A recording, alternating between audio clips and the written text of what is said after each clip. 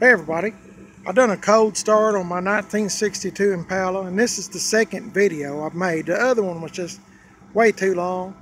So I thought I'd do this second one. I'm sorry you didn't get to see me start it up, but it's no big deal. I put a new battery on it that I bought. That's about 130 or 140 bucks. So you kind of got to save up for some of this stuff. But got a new battery on it and it cranked up pretty easy. So, but uh, what I was going to tell you today, well, let me show you a walk around. My 1962 Impala, in case you're new to my channel. And uh, I've got Torq Thrust wheels on it. And this car has been in my family ever since new. My uncle owned it, bought it brand new in 62 in Albertville, Alabama. And I know the car looks like it's leaning, it's actually the driveway. But my grandparents bought it from him and I, I got it from my grandparents. It's a long story, so but I'm making it short. It's got a 283 in it, even though I put on 327 emblems. The 283 has the V in the red, white, and blue. 327 has all this plus the cross flags. And if it's a 409 car, it'll say 409 down here at the bottom. I've always been into 62s. That's my, probably one of my favorite cars of all time. And uh, I was going to tell you a few little things uh, you might want to look for if you're thinking about buying a 62 Impala or Bel Air or Biscayne. They're all the same. It's just less less options on a Bel Air and even less on a Biscayne. You're just buying bare bones. And there's nothing wrong with that. I, I like Biscaynes and Bel Airs just fine. I've had some. I've probably had 12 probably at least 12 62 Impalas, Bel Airs, and Biscayne cars, and one of them being a wagon. But I'll tell you a couple things I've done to this car that if you buy a 62, just, just so you know, a 61 Chevrolet car and a 62 Chevrolet car, they share a lot of the same components. The dash is the same.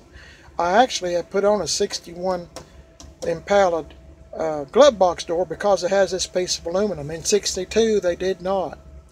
This is the original one from this 62 Impala. And I put this on just to brighten it up a little bit because hey it's my car. So but I, I've saved everything I've took off of it and I can put it back anytime I want. I have the original steering wheel for this car. This is a 59 Impala steering wheel. And this is one of my favorite steering wheels of all time. I just, I don't, I just like the way they look. I like the cross flags and the Impala right there. And uh, I've had my in my whole life I've had 158 Impala steering wheel. The difference is they look just like this, but a 58 they had a little notch in the steering wheel, and the horn ring come all the way up and around and back down to here. But in 58, when you went to honk the horn, you know, everybody would grab this part, well, it would snap. So 59, they done away with that and put it down here. You can either use this or this. They didn't break, or they haven't yet. I'll show you a couple more things.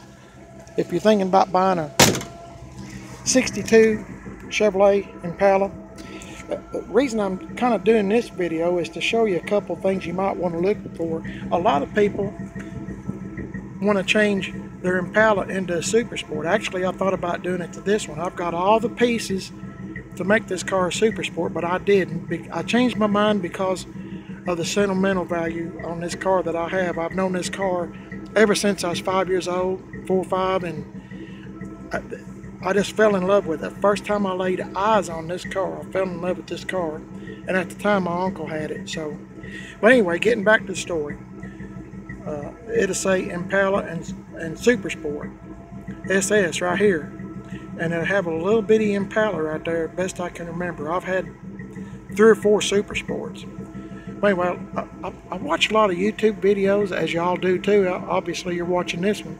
But a lot of people they'll put the Impala and I seen this last week and I was going hey there's something wrong. But they put the Impala way down here and the Super Sport emblem right here, and I mean it was way off, and it, they was trying to pass it off as a Impala Super Sport, which it is not. It, it was a fake, and you know, there's no need in paying a Super Sport price for a regular Impala when you can, especially when they haven't done it right.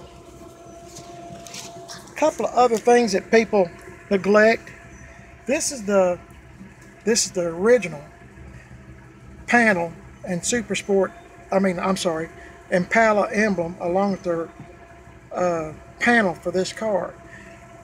Just an Impala. Okay, this is the grab bar for SS Impala. And it'll mount right here like this. I'm, it's kind of hard to do this one-handed, but this part here mounts into this. And it'll, it'll set kind of like that. And it's pretty cool looking. I've had, as I said, I've had several Super Sport Impalas. This panel will go right here.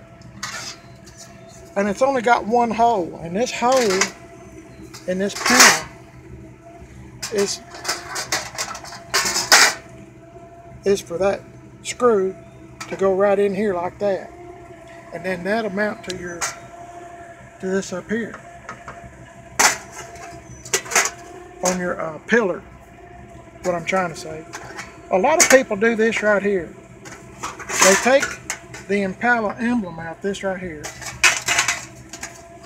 I'm trying to trying to hurry and show you. They take this off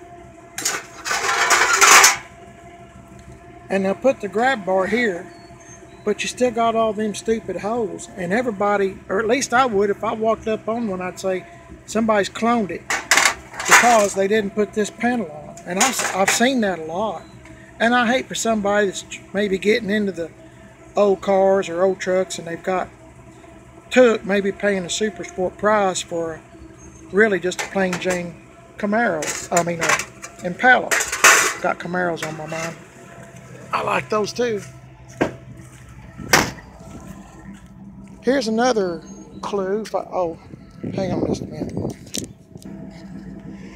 Okay, here's another thing. Is people will they'll put super sport emblems, but they don't buy these panels uh, that go around the trunk and the tail light area.